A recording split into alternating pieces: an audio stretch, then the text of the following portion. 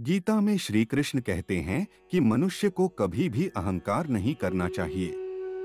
अहंकार मनुष्य से वह सब करवाता है जो उसके लिए सही नहीं है। अंत में यह अहंकार ही उसके विनाश का कारण बनता है। इसलिए जीवन में जितना जल्दी हो सके अपना अहंकार त्याग देना चाहिए। गीता में श्री कृष्ण कहते हैं कि किसी भी इंसान का पतन उस समय शुरू हो जाता है, जब वो अपनों को गिराने की सलाह गैरों से लेना शुरू कर देता है। गीता में लिखा है, सरल व्यक्ति के साथ किया गया छल आपकी बर्बादी के सारे द्वार खोल देता है। चाहे आप कितने भी बड़ी शतरंज के खिलाड़ी क्यों ना हो, लेकिन सरल व्यक्ति के साथ किए गए छल के परिणाम आपको भुगतने ही पड़ेंगे। श्री कृष्ण कहते हैं कि इस धरती पर कर्मों की चपेट से न तो कोई बचा है और न ही बचेगा। जिसने जैसा किया है, उसे वैसा भरना ही होगा। आज नहीं तो कल उसके कर्म उसके सामने ज़रूर आएँगे। श्री कृष्ण के अनुसार किसी का साथ ना मिलने पर कभी भी निराश नहीं होना चाहिए क्योंकि कोई दे या ना दे। ईश्वर हर मुश्किल घड़ी में साथ देता है। गीता में श्री कृष्ण कहते हैं कि जब अत्याचारों को मुस्कुराकर सहा जाता है तो उस इंसान का बदला भगवान स्वयं लेते हैं। इसलिए किसी भी परिस्थिति में मुस्कुराना नहीं छोड़ना चाहिए। बीते कल और आने वाले कल की चिंता नहीं करनी चाहिए, क्योंकि जो होना है वही होगा। जो होता है अच्छा ही होता है।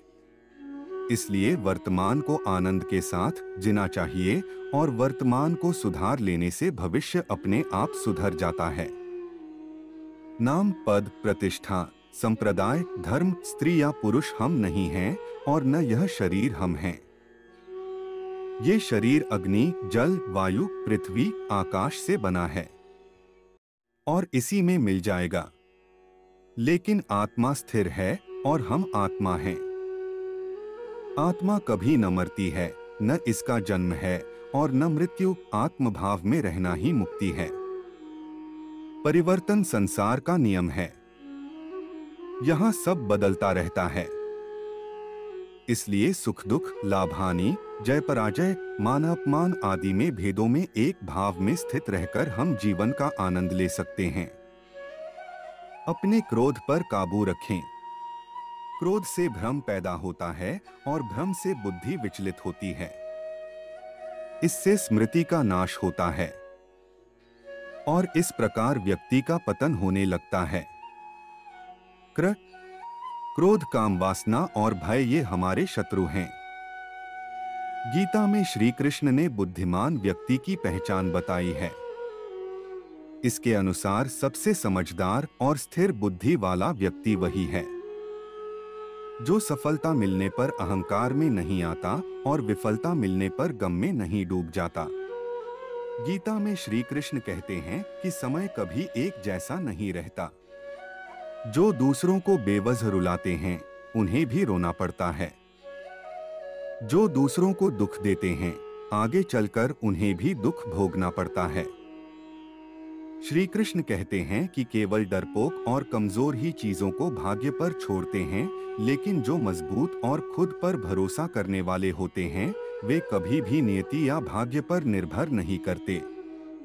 गीता के अनुसार, सिर्फ़ दिखावे के लिए अच्छा मत बनो, वो परमात्मा आपको बाहर से नहीं बल्कि भीतर से भी जनता है। इसलिए कोई भी बदलाव पूरी तरह से स्वयं के लिए होना चाहिए। आप खुश हैं या दुखी, यह दोनों आपके विचारों पर निर्भर है। अगर आप प्रसन्न रहना चाहते हैं तो आप हर हाल में प्रसन्न ही रहेंगे। अगर आप अपने मन में बार बार नकारात्मक विचार लाएँगे तो आप दुखी ही होंगे। विचार ही हर व्यक्ति का शत्रु और मित्र होता है। श्री कृष्ण कहते हैं, किसी के साथ चलने से ना तो कोई खुशी मिलती है और ना ही लक्ष्य, इसलिए मनुष्य को सदैव अपने कर्मों पर विश्वास करते हुए अकेले चलते रहना चाहिए। गीता में श्री कृष्ण ने कर्मयोग भक्ति योग और ज्ञान योग को ही कल्याण का प्रमुख साधन बताया है। कर्म के प्रवाह से संबंध का टूट जाना ही जीवन का लक्ष्य है और यह लक्ष्य उपर्युक्त तीनों मार्गों से प्राप्त हो सकता है।